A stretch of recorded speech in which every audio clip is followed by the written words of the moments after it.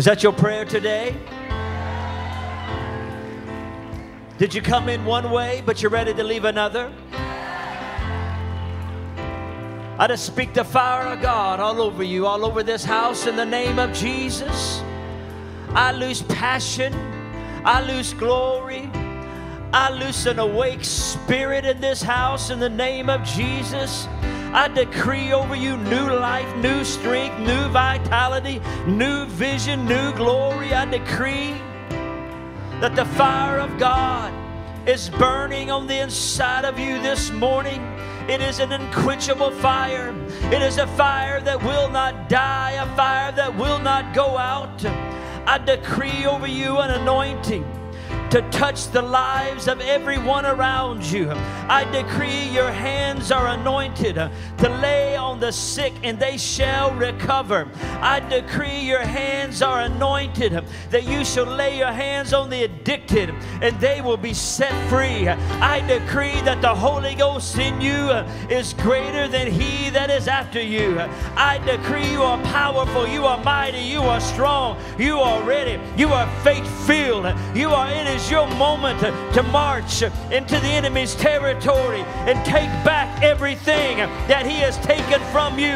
It is a day of repossession. It is a day of repossession. It is a day for his kingdom to come and his will to be done. If you believe it, shout yes. Hallelujah. Hallelujah. You can be seated this morning. I just felt like saying all that.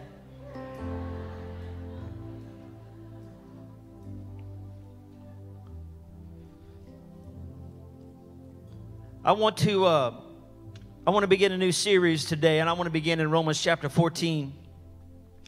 Romans chapter 14, verses 16 and 17. I actually used this verse in my last series, but I kept feeling like I didn't get to the weight of it.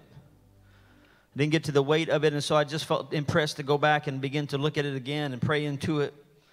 And so I, I just want to share some things with you this morning. And uh, I'm so excited about Activate tonight, and I hope you'll come and join us and just let God use you, touch somebody's life. You may be the turnaround point for somebody today. Your faith, your love, your prayer may change everything, may change the whole trajectory of their life. You just never know. Amen. It may just be a night where you sow a seed in somebody's life and then somebody else waters, and eventually, somewhere along the way, they come to know Jesus. I, I just think it's important uh, that we make ourselves available to the Holy Spirit to be used to make a difference. And so, this is one way we can do that. So, I expect to see you here tonight. All right? All right. Romans chapter 14, verse 16. Therefore, do not let your good be spoken of as evil. For the kingdom of God is not eating and drinking, but righteousness, peace, and joy in the Holy Spirit. I want to speak for a few moments this morning or, uh, on the subject of the sacraments of the kingdom. The sacraments of the kingdom. As I, as I began to go back over this text and study and research, and, and uh, I came across uh, this statement that caught my attention. And the statement was referring to the, the uh, righteousness and the peace and the joy of the Holy Spirit as the sacrament of the kingdom. Sacraments of the kingdom. Now, you have to understand the reason this caught my attention is I'm not a sacramentalist. I'm not sacramental, I'm Pentecostal. I mean, I'm Pentecostal. I don't hide that. I'm, I'm, I'm, I'm a, I'm a spirit filled, tongue talking, laid hands on healing, casting out devils. Pentecostal, through and through, blue and blue. I am what I am. That's what I am. I'm a Pentecostal. And so, as, as I was studying after a Pentecostal theologian, seminarian, and he uses this word, uh, sacraments, or the statement sacraments of the kingdom, uh, that, that kind of caught my attention because as a Pentecostal, I prefer to use the word ordinance. Uh, here at Fresh Start Church, in our, in our statement of beliefs, we say we have two ordinances of the church. We just experienced them both this morning water baptism and Holy Communion. We call those the ordinances of the church. But as a Pentecostal, I, I, I don't believe in sacramentalism. I believe in Pentecostalism. The word ordinance itself means something ordered or decreed. And so when you, when you bring it into theology, it means something ordered or decreed by Jesus to his church. And so when Jesus commands us to do something, we should respond to it. We should respond to it in faith, out of obedience. If Jesus said, do it, I want to do it. But what messed me up is I began to go on this journey about sacraments and sacramentalism because I'm Pentecostal through and through. But yet I, I, was studying after a Pentecostal theologian, and he called these things the kingdom. He called them sacraments of the kingdom. And what really blew me away is I began to study sacrament. I found out the word sacrament is a synonym for ordinance. Okay, wait a minute. As a Pentecostal, I don't believe in sacraments, but I believe in ordinance. But they mean the same thing, sort of. Depending on whether you're a Pentecostal or a sacramentalist. This is important where I'm going today because the sacraments of the kingdom. You see, a sacrament is a visible sign of an inward work of grace.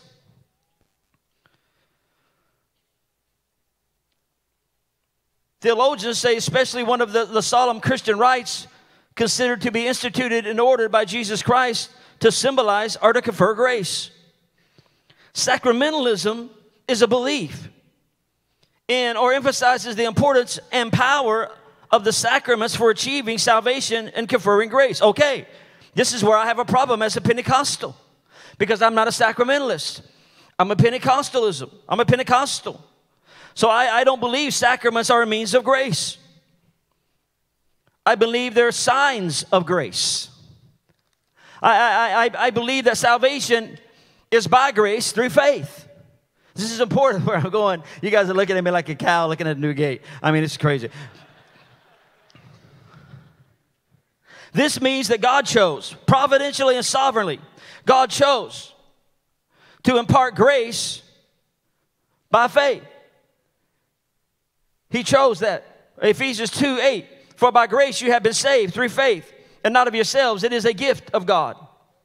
So grace and faith create a moment of encounter.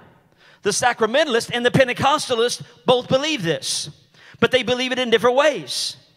This is what I want us to understand. This is why I'm, I'm, I'm making this very strong emphasis that I'm not sacramental, but I'm Pentecostal.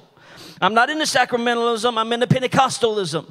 I'm into a move of God. I'm moved to having an encounter with the Spirit. I'm moved, I'm into being transformed by the power of His Spirit.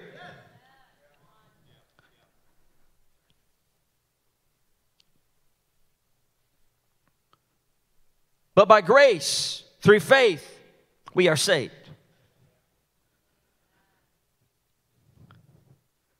And when faith and grace come together, there is this sovereign, powerful encounter.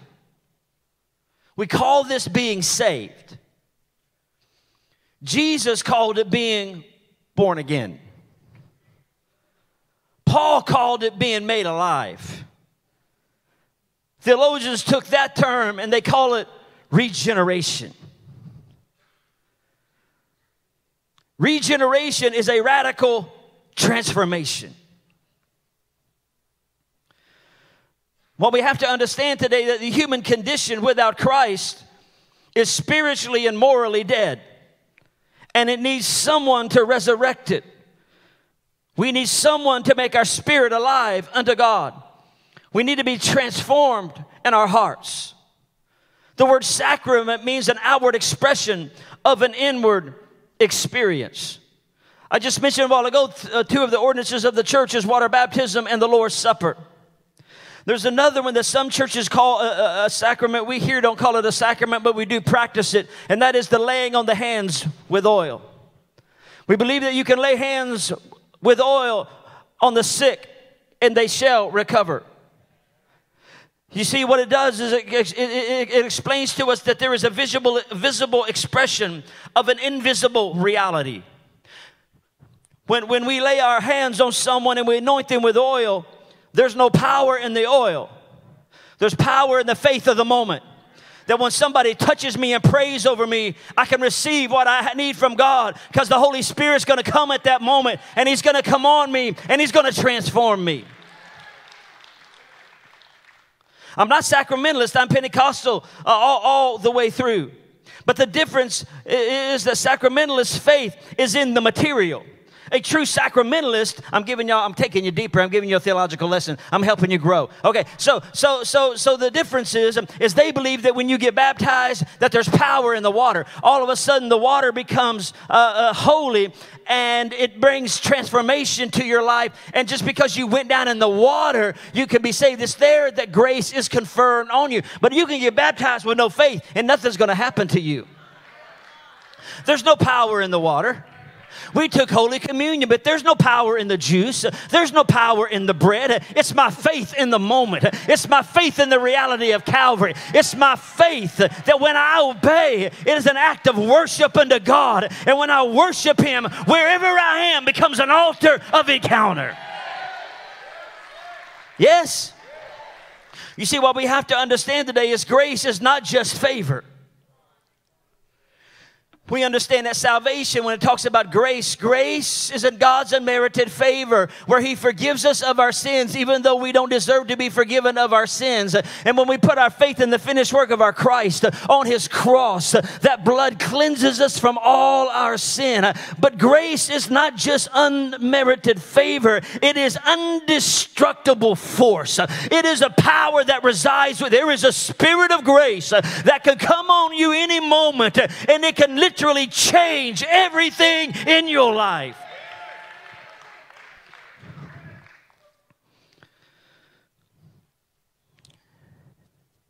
So, the difference between a sacramentalist faith is that their faith is in the material the water, the bread, the juice, the oil. As a Pentecostal, my faith is in the moment. That when I obey Him to be water baptized, something supernatural can take place around my life. And when I receive Holy Communion, I don't just have to take juice and bread, but out of faith. When I take the juice and bread in obedience, I can believe something supernatural can happen to me. That the Spirit of grace can come and bring healing to my body, bring deliverance to my life. Yes?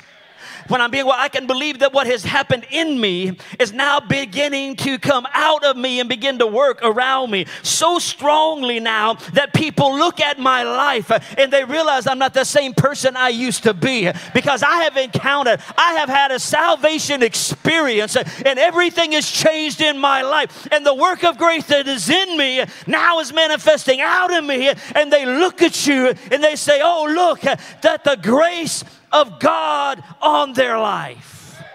Yes? This, this, this, is, this is important today.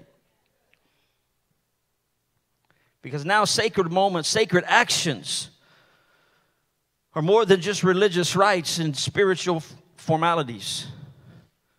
They become an altar of encounter. And when we participate in these things in faith and obedience and worship, we encounter the presence of God. And they become life changing moments. Nothing to do with the water, nothing to do with the wine, nothing to do, or the juice, nothing to do with the bread, nothing to do with the oil. Everything to do with faith and obedience. Let's go back to our text for the kingdom of God is not eating or drinking, but righteousness, peace, and joy in the Holy Spirit. So, since the sacrament is a visible expression of an invisible reality, then sacraments of the kingdom mean that the kingdom that is within me at some point is supposed to become a reality outside of me.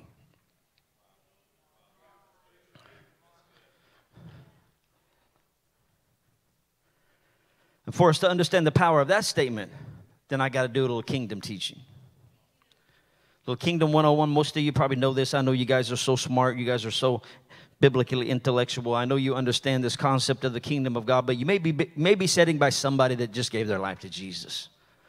And I got to make sure we understand when we talk about the kingdom of God that we understand. The kingdom of God, in its simplest form, is the rule of God. The kingdom of God is the realm of God. The realm is the place in which the king rules.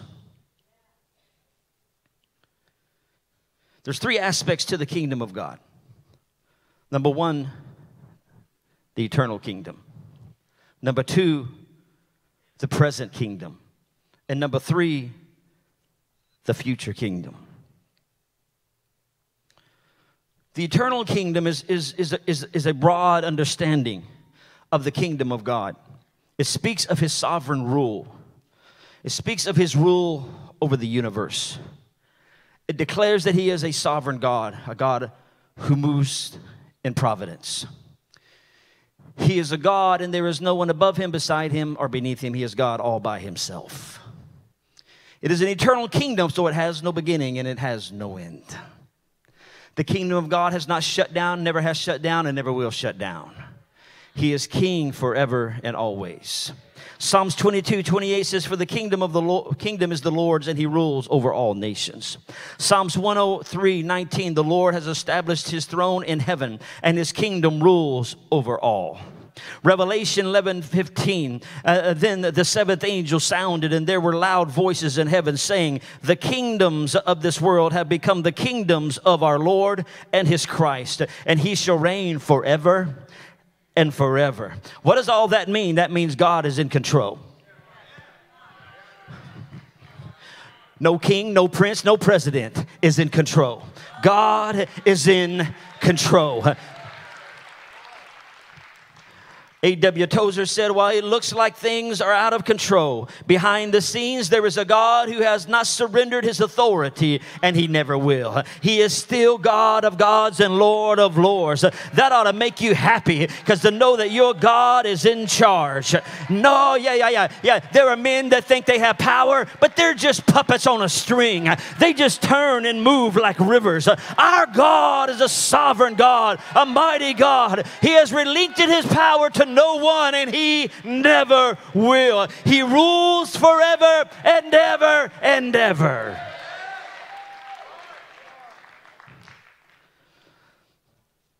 The kingdom of God, the kingdom of God.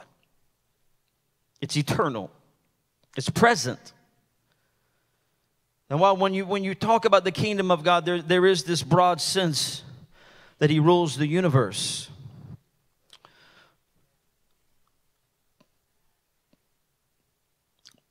But the kingdom of God has a more, narrow, more narrow uh, meaning to it. And it began in the ministry of Jesus. When he made this proclamation in Mark uh, chapter 1, Mark chapter 1, Jesus declared in verse 14. Now, after John was put into prison, Jesus came to Galilee preaching the gospel of the kingdom of God and saying, The time is fulfilled and the kingdom of God is at hand. Repent and believe the gospel. When, with those words, Jesus loosed the kingdom into present time. Because it is from eternity to eternity, it had never been in time. But when Jesus came to earth, he brought the kingdom into time. Uh, he, it begins with repentance.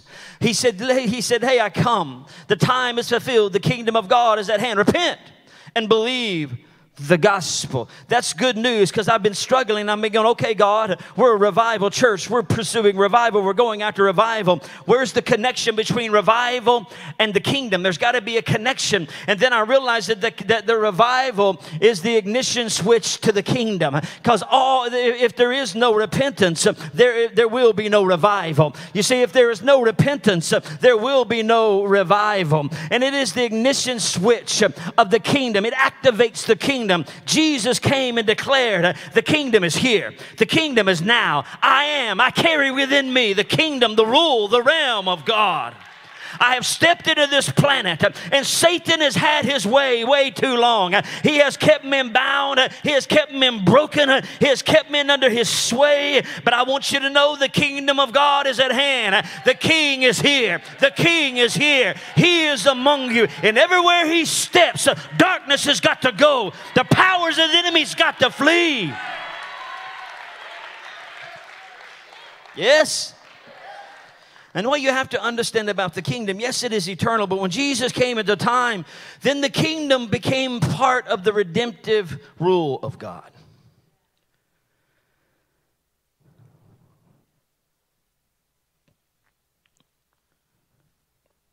The object of the kingdom of God is the redemption of men and their deliverance from the powers of evil. The kingdom of God is the reign of God, watch, in Christ, defeating all that is in rebellion and hostile to God's divine rule.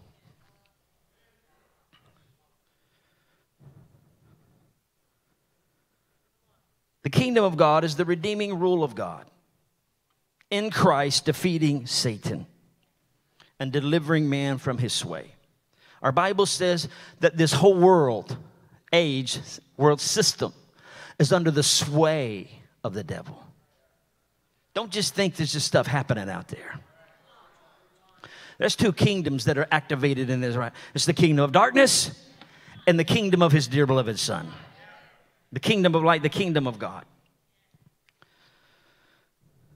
And this kingdom has the capacity, when entered,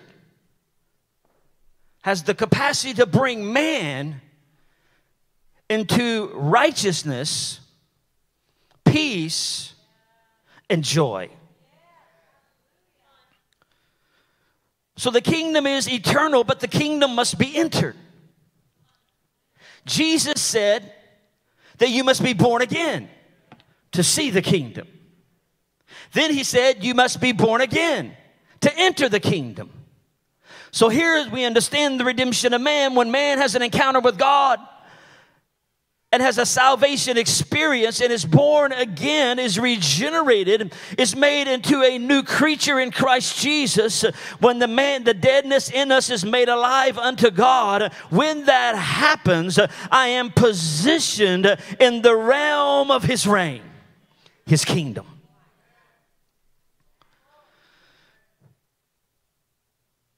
So salvation is the accommodation of us going, moving into the kingdom.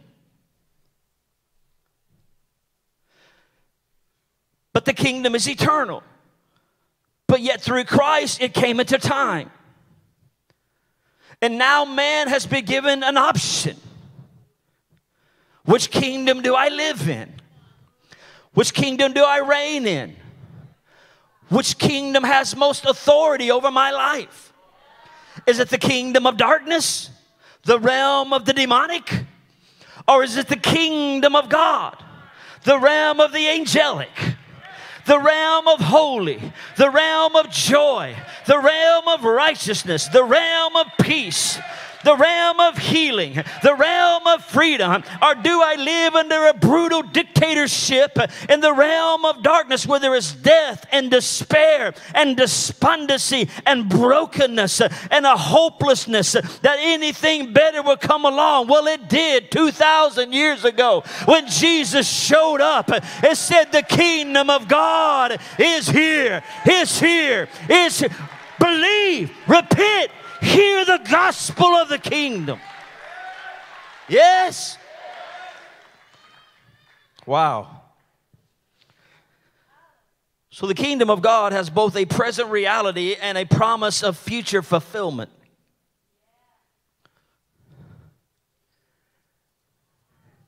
As the kingdom is present through Jesus Christ, through his person and through his acts, all out through his ministry was surrounded with teachings on the kingdom. But he is present today. The kingdom is present today through the ministry of the Holy Spirit. Where the Spirit is, the kingdom is present.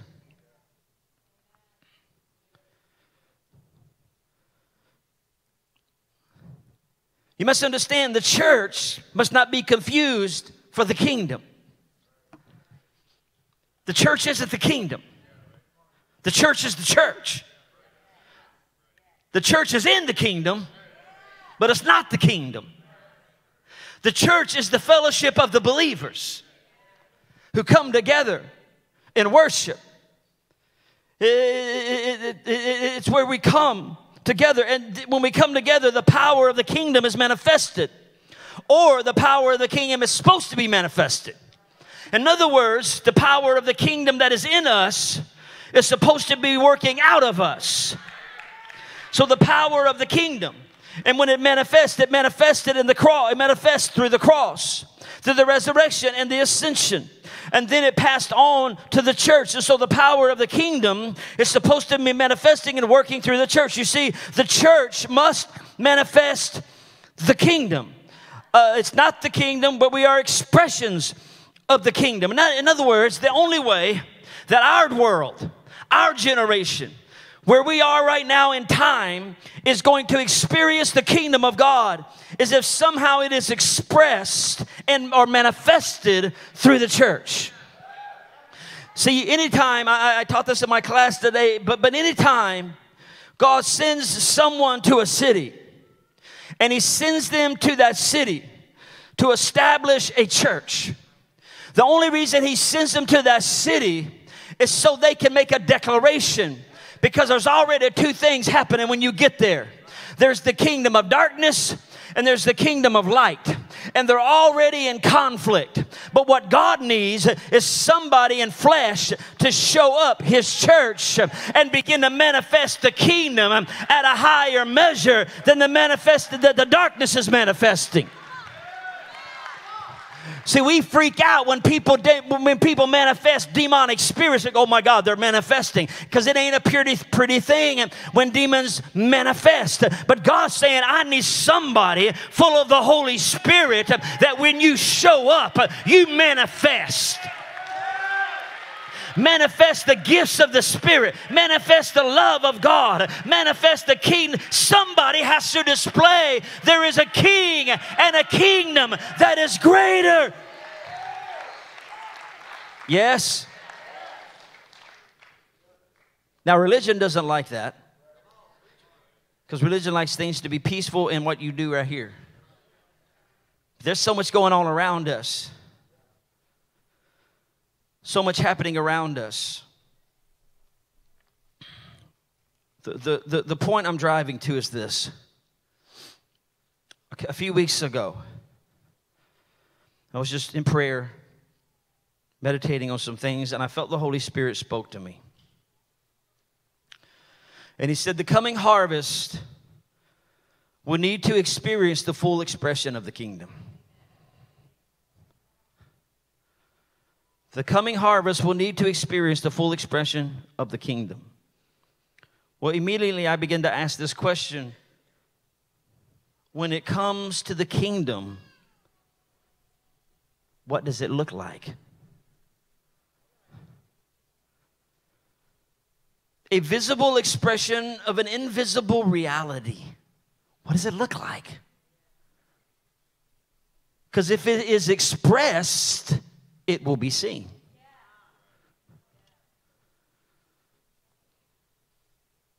So I went to Matthew 4 22.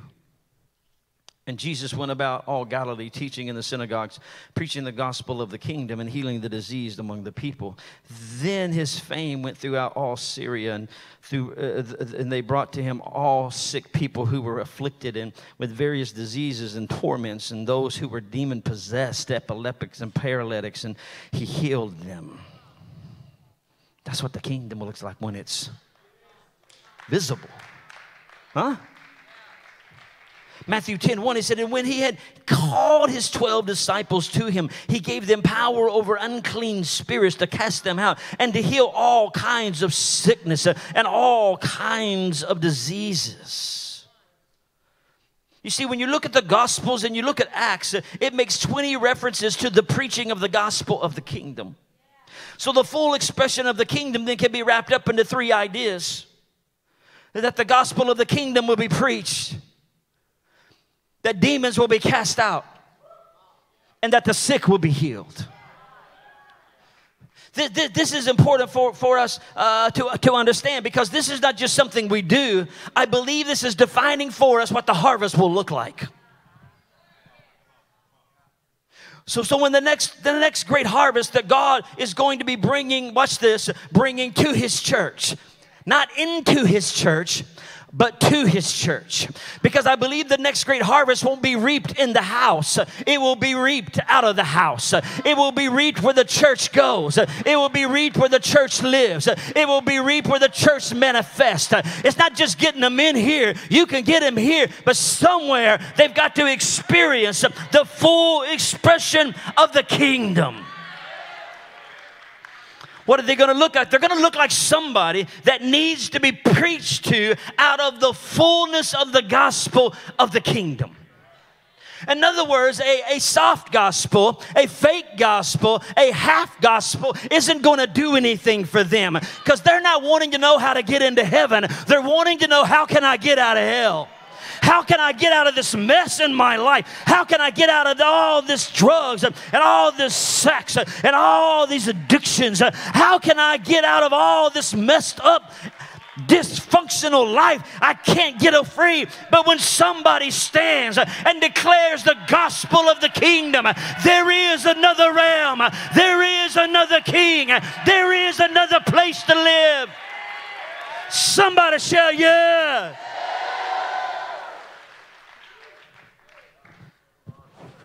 Paul talked about that they would be a different gospel. When he uses that term different gospel, he's talking about a diluted message. In other words, it's, it's going to be void of power, though it is nominally Christian.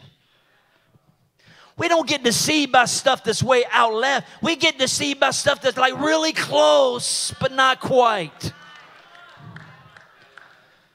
I had to, re, had to renew my vocabulary because it, uh, you, you, would, you, you, would, you would try to bring people to Jesus and, and you would say, All you have to do is. All you have to do is say this prayer with me and you will be saved. That's true, but it's not the full truth. You have to have an encounter because you have to be born again. You don't go to heaven by making the right decision.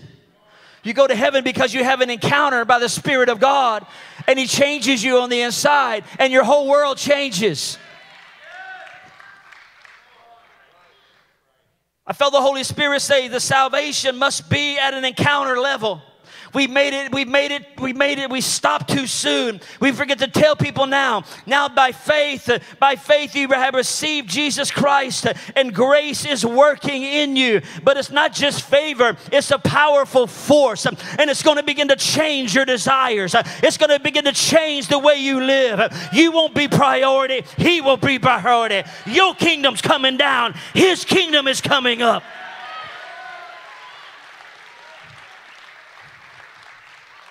The danger of a fake gospel is it keeps people coming to church but without having a relationship with Jesus Christ, not being transformed and changed. There needs to be an encounter level, not just a decision, but a collision with the Holy Spirit that wrecks and rocks our world. So the next harvest is going to flood the altar and say, Give me something that can change my life.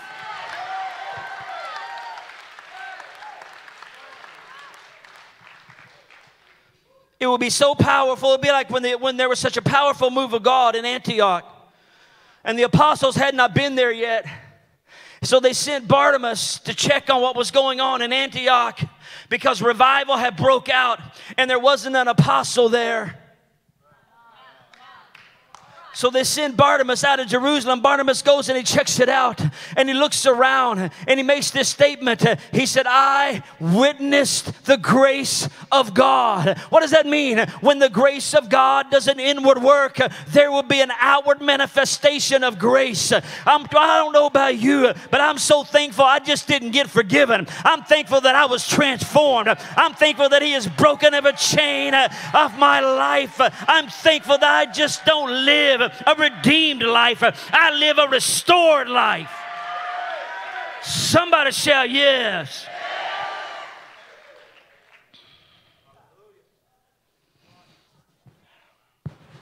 He's talking about a gospel that when it is preached, it is confirmed with signs following.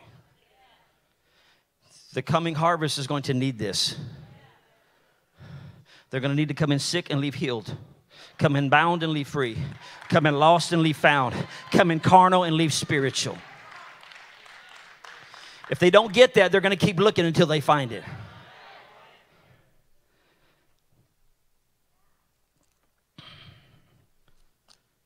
Then he said he talked about casting out devils. This, this, this religious people get real uncomfortable with this.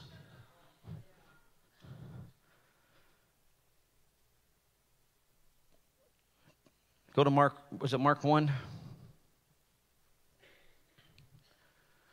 Now, there was a man in the synagogue church with an unclean spirit. And he cried out, saying, Let us alone. What, we ha- what do we have to do with you, Jesus of Nazareth? Did you come to destroy us? The answer would be yes. I know who you are, the Holy One of God. But Jesus rebuked him, saying, Be quiet and come out of him. And when the unclean spirit had convulsed him, he cried out with a loud voice and came out.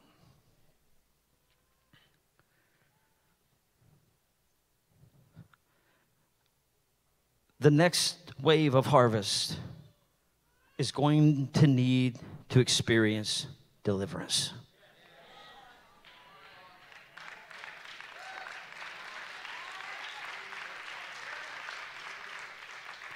I know y'all know this because you're, you're, you're biblical, uh, biblical people. You understand that in the end time, there's going to be a flood of demonic powers. There's going to be a hordes, hordes of hell that are going to attack this people planet. They're coming in because they know their time is short and they understand they're trying to control humanity and destroy humanity while the redemptive power of Christ is getting stronger and stronger and the gospel of the kingdom is being preached more powerful and more powerful. There's going to be a war there's going to be waged over the souls of men. And I've got to, I felt the Lord told me there, there, there, there's going to be an unleashing of an unclean spirit like this planet has never seen before. I know Jesus dealt with it. Almost every demon that he dealt with, that he named was an unclean spirit. There's an unclean spirit that's getting ready to be released on this people planet. And we have to understand this because when they come in, we can't give them a little prayer. We can't give them a half gospel and pat them on the back and say, Go live for Jesus. Somebody's going to have, have enough discernment and authority to look that demon in the eyes and let them know you don't own this man anymore. You don't own this woman anymore. They've been bought by the blood of Jesus. Now you get out and leave them alone. You leave them alone. You better get ready because there's coming a wave of an unclean spirit. We better get clean now because if we don't get clean now, we'll get swept up in the wave. Somebody help me preach. The unclean, the, the, unclean spirit is, is defined as an impure spirit. It is used 20 times in the New Testament. If you think I'm making things up, uh, uh, they're not only wicked themselves, but they delight in wickedness and they, they like to promote wickedness through humans. We must be careful. We must guard our hearts.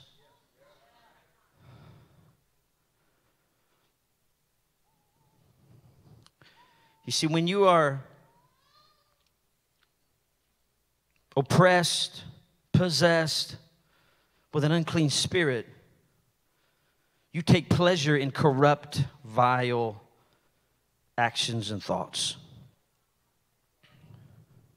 It's, it's not natural. Our culture tells us it's natural.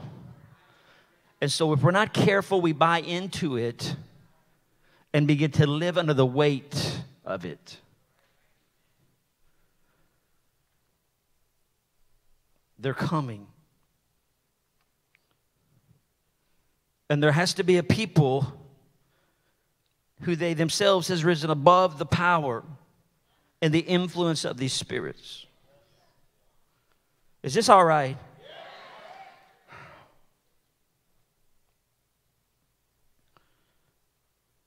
Luke 13 10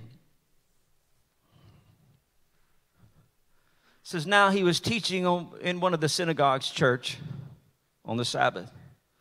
And behold, there was a woman who had a spirit of infirmity 18 years and was bent over and could no way raise herself. But when Jesus saw her, he called her to him and said to her, Woman, you are loosed from your infirmities. And he laid his hands on her, and immediately she was made straight and glorified God.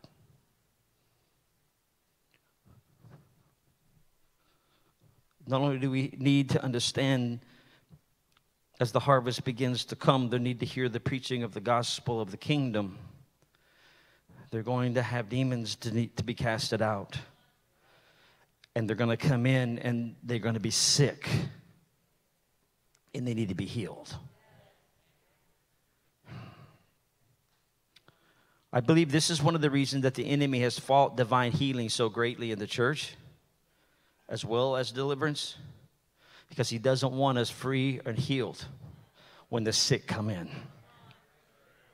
He wants us to he- believe the lie that God doesn't heal anymore and that God doesn't deliver. Live with it.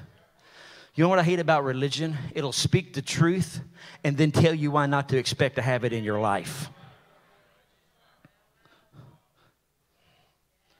It'll tell you everything that is right that you should believe and then tell you don't believe it.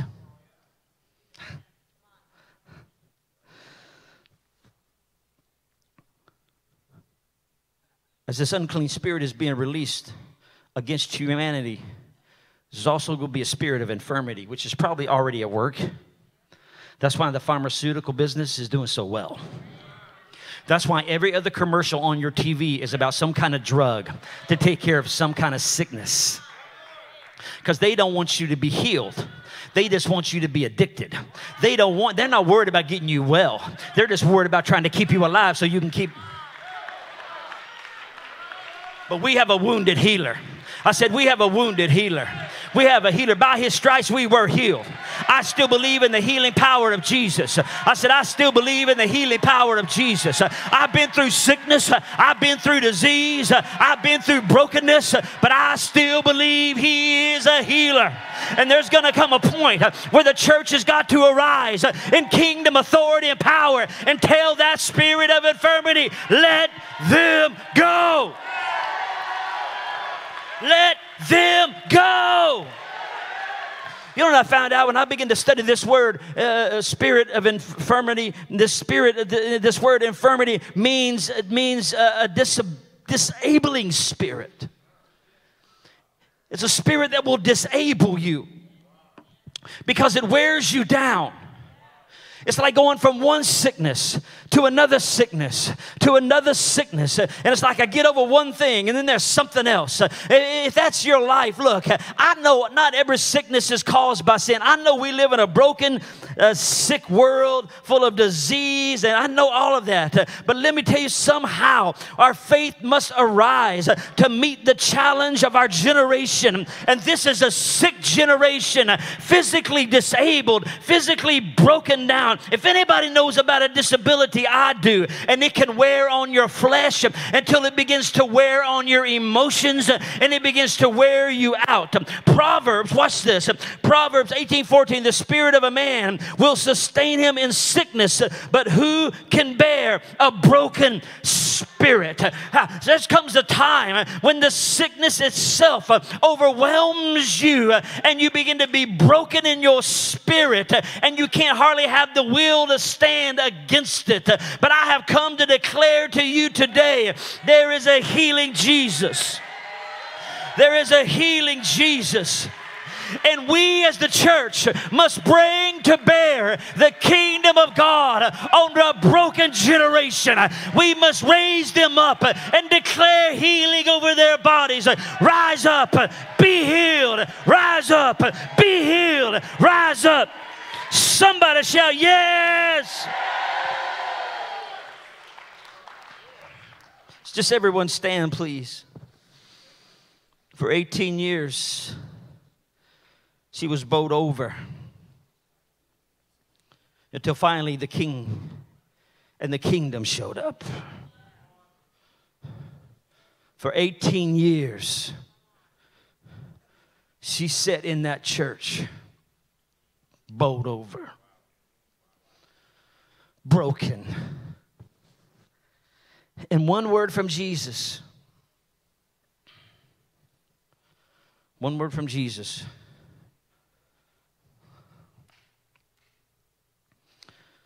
Daughter of Abraham.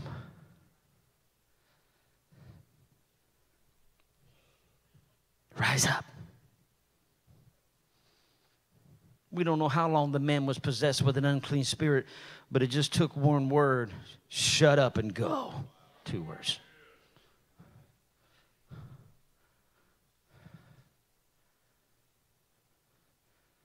Oh, how God needs His church to walk in this level of kingdom authority for the sake of humanity, for the bound and the broken, those who are not afraid to speak the fullness of truth.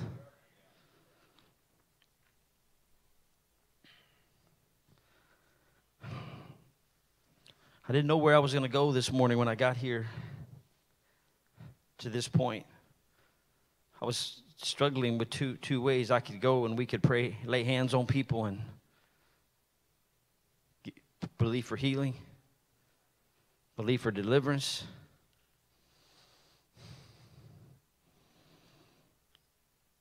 Because I'm going to get to these, these three sacraments of the kingdom righteousness, peace, and joy.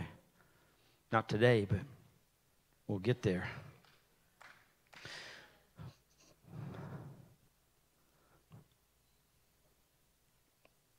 But I think it's really time that we take what God is doing in us and begin to release it to the world that is around us.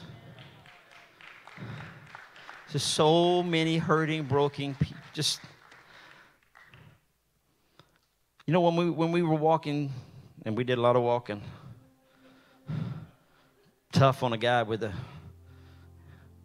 Anyway, I'm not even going to say it. And I had this conversation with Tony, and just a few minutes later, had this conversation with Kim. She almost said the same exact thing I said to Tony when we were walking from uh, Washington Monument to the Supreme Court. I was just like, man, I thought when we got here, it would be all, you would feel all chaotic and anxious and like this, like this is a swamp or something. But you know what I felt? I felt peace. I felt hope. And after just spending just a few minutes with Congressman Franks, I felt like there is a chance for this nation to experience revival. There is a chance. This could happen. There are men and women of God, of righteousness, sitting in the places of government we don't know about. Hundreds of congressmen and congresswomen that meet for prayer and Bible study. We just hear all this other stuff. But I'm telling you, God's at work. But with all that said, the hope of our nation is a church that understands that they live in a kingdom and it has real power to bring real change and to bring real transformation. I believe this morning, before we leave, I just want to pray over you. And I want to release over you a revelation of who you are in the King, in the kingdom of God. I want you to know that you can really be a world changer.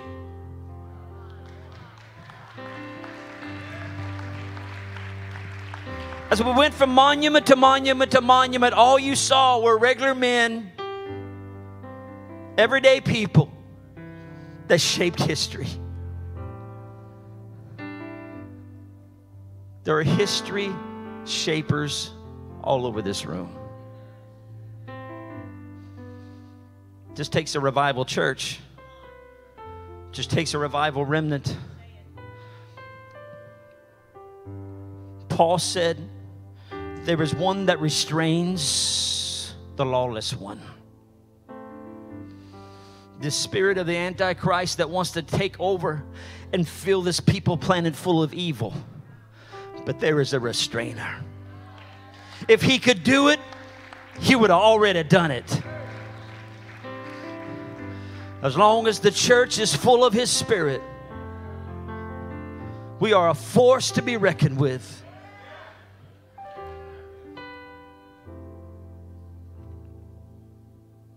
Just throw your hands up. I could ask you to come forward, but this just it would be just crowded today. And I just feel like I need to do this. And as we move along in this series, we'll get to some things. But I just I just want to get this deep in our hearts. Revival has been so powerful in the last two plus years, but now now we're coming to a place where that was that is which in us must be worked out of us. So Lord, I speak over your people in the name of Jesus. I decree over them in the name of Jesus a revelation of who they are. I decree over them in the name of Jesus that they would have these hands, oh God, that are holy unto you. Hands that can lay hands on the sick and they will recover. Hands, oh God, that can lay hands on the addicted and they will be set free hands that will heal the broken hearts and the broken spirits and the broken emotions of, of our world today, God. I send them out, oh Lord, into their places of work. I send them out into their neighborhoods. I send them out, oh God, to go make a difference like they have never seen. Oh God, I believe this is our moment, this is our time. I believe that the kingdom of God is among us. I say, Kingdom come, will be done on earth as it is in heaven over your people. I decree activation right now in the name of Jesus. We are revived and we are activated in the name of Jesus. Uh, we will place a mark on this city. We will place a mark in this region. We will make a mark on this nation by your grace. I thank you for it today, Father, in the name of Jesus. And everybody shouted, Yes. I do want to pray over those today that need healing or deliverance. If you need healing and deliverance, if you'll run to the front right now, I just want to lay hands on you real quick. And I just want to pray over you real quick and believe that God is going to touch you today. Just come quickly. Fill me up, fill me up till I'm overflowing. Fill me up, fill me up, till I'm running